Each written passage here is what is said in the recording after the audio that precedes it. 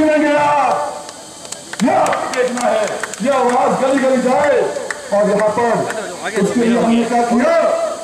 जो दसियों हज़ार किलोमीटर घूम के जो बिल पारित हुए। हमारे किसान संसद में मेरे ख्याल से बहुत हो गया तुम्हें अब बहुत हो गया वहाँ से।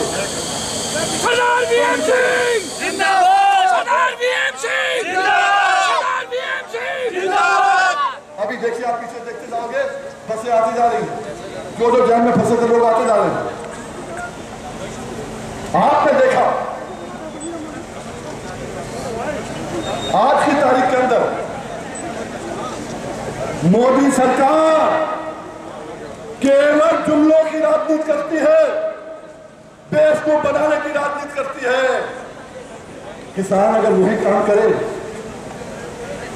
देश को बनाने का, देश से कहे हम तुम्हारे लिए अन्न उगा रहे हैं और उगाए ना हर आदमी ठेके पे ज़मीन दे दे। हर आदमी अपनी ज़मीन बेच दे। तो देश क्या करना फिर? हमारे साथ खिलवाड़ मत करो मोदी जी। किसान में इतनी ताकत है। अगर आपकी सरकार बना सकता है तो आपकी सरकार उठा के बाहर फेंक सकता है। ये दो बिल जो आए हैं, पूरा देश घूमने के बाद, वो है कर्जे से मुक्ति। हम कर्जे से माफ़ी नहीं चाहते। कर्जे से मुक्ति चाहते हैं क्यों? अगर महँगाई होती है थोड़ी भी, अगर थोड़ा भी फ़र्क पड़ता है, प्याज का महँगाई होती है, टमाटर का महँगाई होती है तो सरकारें बदल जाती हैं। और ये लोग क्या करते हैं? अपने दो फ़ीसदी लोगों को जो नौकरियाँ कर रहे हैं, महँगाई भत्ता देते हैं, वेतन आयोग बिठाते हैं, पीछे से लाखों करोड़ उनको एरियस दे देते हैं। हमारा कहना बड़ा सीधा है, स्वामीनाथन की रिपोर्ट 15 अगस्त 2007 से लागू होने की। पीछे से 11 साल के एरियस हमको दे दो भाई। इतना हो जाएगा जितना कर्जा हर भाई के पास है, उससे दुगना सरकार को वापस देना पड़ेगा। इसलिए हम कहते हैं, हमें माफ़ी नहीं चाहिए, हमें मुक्ति चाहिए, हमें मुक्त करो। तुम्हें चौबीस लाख करोड़ देना है, हमारा कर्जा बारह दो लाख करोड़ का है। हम तुम्हें माफ़ करते, रुक जाओ।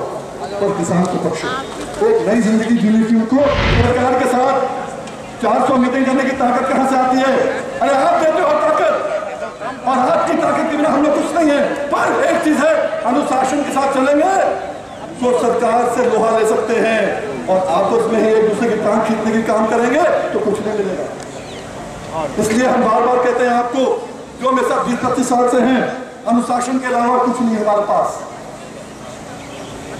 लोहा गर्म है लठ मारने का आ गया। हम चाहते हैं आज कि जो आज रेप की बात है एमएसपी स्वामीनाथन के तहत सीटू के तहत मिलना चाहिए, उससे कम हमें मंजूर नहीं है। और जो एमएसपी डिक्लेयर करोगे, एक भी दाना उस रेट के बिना नहीं बिकना चाहिए। अरे आज धान का आपने डंका बजा दिया, पूरे देश के अंदर में धान 200 बढ़ा दिया। पहले तो चार चार सौ रुपये बने थे एक एक साल में आपने डंका बना दिया दो सौ पंद्रह का मैंने कहा गेहूँ का बड़ा था, दो हज़ार आठ, नौ में। और आज हम क्या चाहते हैं? ये धान जो पंद्रह सौ पचास का था पिछली बारी, कितने का बिका? ग्यारह सौ का। अभी तो चैनी बेच के आ रहे हैं, कितने का बिका? ग्यारह सौ, बारह सौ का। हज़ार का। ये नहीं चाहिए हमें। हमें चाहिए जो रेट हो बिल में वही लिखा है जो आज राज्यसभा में आएगा लोकसभा में भी आना था। पर सरकार ने घबरा कर कि किसान आ रहा है। किसान की बात लोग सुनेंगे उसकी बात मानी जाएगी। तो उन्होंने लोकसभा के अंदर बिल लाने से ही पलटी मार दी और जो नो कॉन्फिडेंस मोशन की बात तीन महीने से चल रही थी उसको मज़बूत कर आपसे घबराती है। आपके बिल है बिल में बड़ा स्पष्ट लिखा है। अगर जो एमएसपी है, मोदी की एमएसपी धोखा उसकी बात नहीं करते तो हमारी एमएसपी है सीटू है, जिसमें आपके ज़मीन का करार भी है, जिसमें आपके जो बखर है, हल है, उसकी घुट्टी चेंज करते हो खैरों की आप डिस्क चेंज करते हो, आपके जो औज़ार हैं, उनमें आप अगर जो है, जो पैसा लगाते हर साल रुपये का वो भी सब शामिल होगा। जो रेट वो होगा एमएसपी को इससे कम देश में कोई नहीं खरीदेगा। क्यों? भाई, हम तो किसान लोग हैं। ज़्यादा पढ़े लिखे नहीं है। पर मेरे मंत्री लोग हैं, ये तो बहुत पढ़े लिखे लोग हैं ना। क्या है ये? मिनिमम सपोर्ट प्राइस मिनिमम क्या होता है? न्यूनतम। अरे कभी मिनिमम का भी मिनिमम हुआ है क्या? पंद्रह सौ पचास धान सा हज़ार में बिक रहा है ग्यारह सौ बिक रहा है। ये कैसे हो सकता है? अरे क्या डीजल का रेट? अगर अड़सठ रुपए हो तो कोई साथ में ले सकता है क्या? नहीं हो सकता ना? तो हमारी मांग क्या है? जो हमारा रेट होगा उससे कम कोई खरीदेगा उसको जेल भेजा जाएगा सीधा बीएमसी सरदार बीएमसी किसान एकता और मैं चाहता हूँ जो वहाँ तक बैंक तक जो लोग खड़े हैं। सब भी हिस्सा किसान यहाँ पर हम लोग जो हैं, ये बिल जो आ रहा है, दो मुद्दों पे आए हैं यहाँ। पहला मुद्दा ये है, देश में मोदी जी जो कल पीलीभीत से आए हैं, शाहजहांपुर से आए हैं, बरेली से आए हैं, आपको मालूम है ना, आपके यहाँ बसे के परमिट भी बंद कर दिए थे बड़े मुश्किल से कल परमिट मिले हैं क्यों? बोले, मोदी जी आ रहे हैं, सारी बसें नहीं लगी। कल आ रहे हैं वहाँ पर।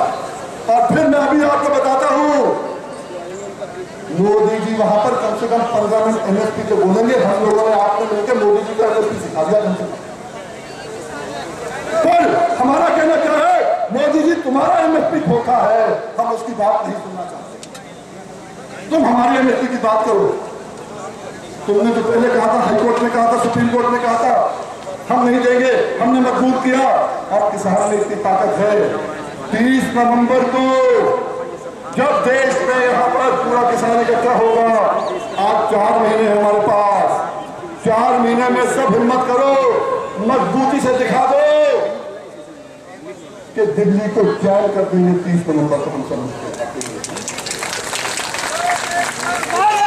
जिंदाबाद इसी संदर्भ में हमारे साथी एक एक करके बोलेंगे।